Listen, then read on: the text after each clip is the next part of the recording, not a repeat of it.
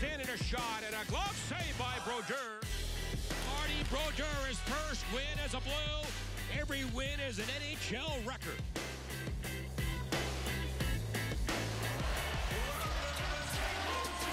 And the big crowd at Scott Trey, they welcome Marty Brodeur in his home debut in St. Louis. Coming off win number 689 in Saturday's victory against the Islanders.